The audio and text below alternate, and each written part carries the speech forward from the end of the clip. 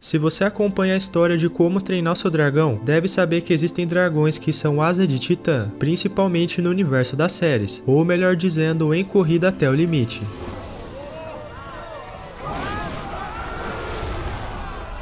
A série apresentou vários dragões titãs ao longo das temporadas. Aliás, eu mesmo já fiz vídeo mostrando que é a forma asa de titã e muito mais. Porém, dessa vez eu decidi fazer uma tier list, ranqueando os dragões titãs desde o menos forte até o mais poderoso. Desse modo eu separei aqui todos os titãs da série, como nos vídeos anteriores de tier list. Temos aqui 5 divisões, que vai desde poderia ser melhor até lendário. Então espero que gostem e sem muita enrolação, vamos nessa.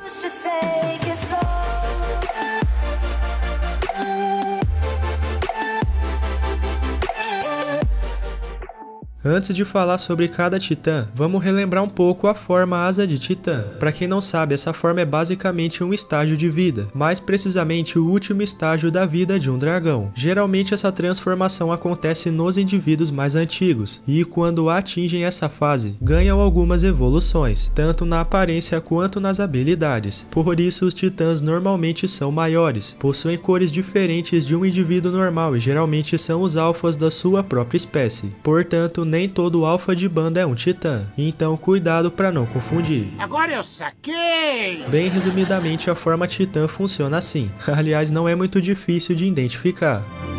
Então, nada melhor do que começar pelo primeiro titã que apareceu na história, o famoso pesadelo monstruoso titã, também conhecido como Nêmesis do Dente de Anzol. Ele apareceu no último episódio da primeira temporada.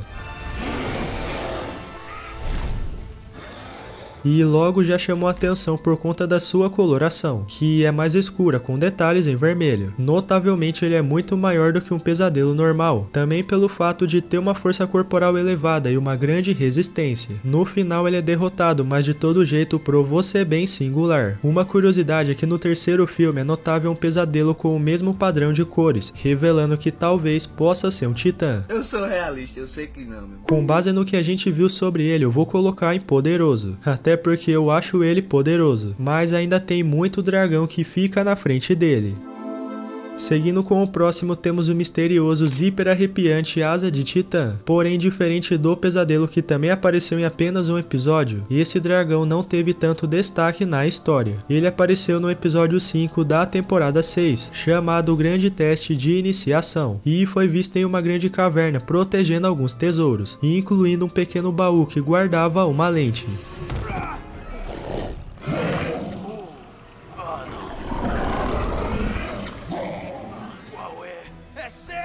Bom, esse titã é bem maior do que um zíper arrepiante normal e tem uma aparência menos espetada, por assim dizer, possuindo uma coloração azul meio esverdeada. Ele mostrou ser bem poderoso e agressivo, além de ser o líder de um pequeno bando de zippers. Portanto, como eu falei, parece que ele não teve tanta atenção e, na minha opinião, merecia ter aparecido mais alguma vez. Por isso, eu vou colocar ele em poderia ser melhor, apesar de que também merece ficar pelo menos em forte.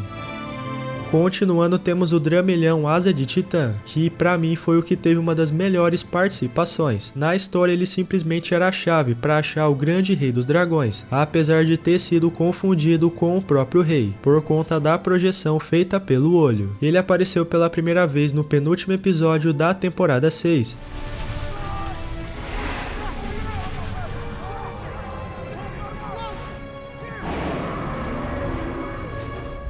E teve bastante relevância, ainda mais por ser um dragão muito requisitado. Afinal, devido sua habilidade de copiar o fogo de qualquer espécie, era a chave para achar o grande rei. Sendo assim, ele era protegido por um enorme grupo de dramelhões. Se comparado com indivíduos normais, o titã é bem maior e tem uma coloração azulada com detalhes em vermelho e cinza, e possui a incrível habilidade de ficar invisível. Eu acho ele muito poderoso e para mim é um dos titãs mais legais da série.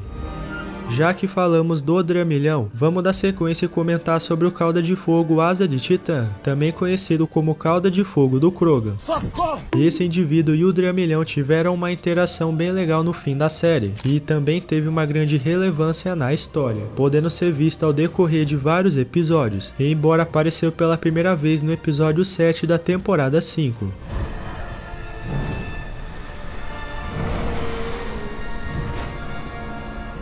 Como já era de se esperar, esse titã comandava um vasto bando de caudas de fogo, apesar de ser controlado pelo Krogan boa parte do tempo. Diferente de um dragão normal, ele tem uma coloração vermelha e é muito maior em relação ao tamanho, além, é claro, de ter seus poderes aumentados. Porém, diferente dos titãs que eu citei hoje, esse cauda de fogo não aparenta ser agressivo e só atacava porque era obrigado. Sendo assim, eu vou colocar ele também muito poderoso. Chegando agora nos barra pesada, temos aqui o Asa de Sombra Alpha. Lembrando que na série ninguém nunca revelou se de fato ele é um titã, mas devido ao tamanho e por ser considerado um grande alfa, talvez seja realmente um asa de titã. Bom, como eu acabei de falar, esse indivíduo é bem maior do que o seu bando, além de ter uma aparência bem inusitada. O mais interessante é que esse titã trabalha muito bem o seu ataque, como se fosse um avião bombardeiro. Ele foi visto pela primeira e única vez no episódio 7 da temporada 4. No entanto, ele certamente é muito poderoso, porém na minha opinião merece ser colocado em lendário. Agora temos aqui o grandioso Fogo de Bala, um dos maiores titãs de toda a série que foi visto na temporada 4, lá no episódio 10, embora apareceu de fato no episódio 12. Ele foi apresentado como um grande dragão marinho e ficou conhecido como Projeto Fogo de Bala, ou Fogo de Bala do Vigo.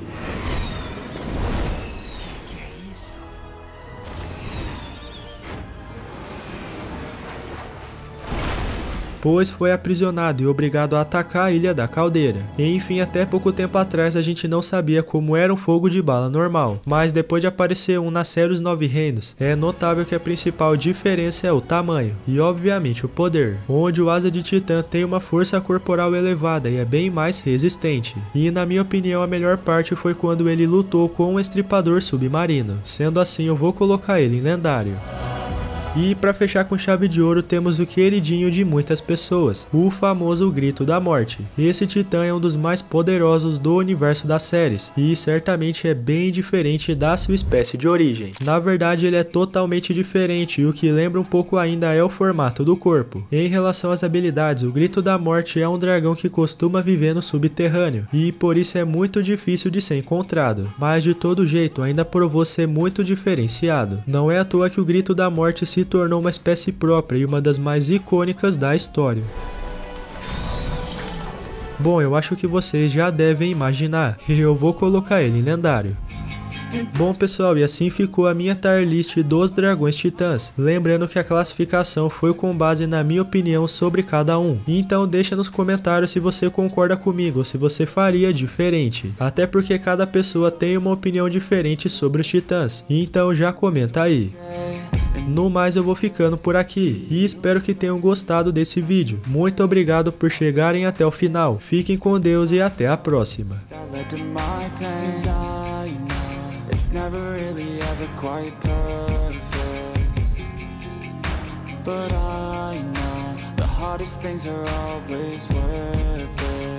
Yeah, I'm all alone and still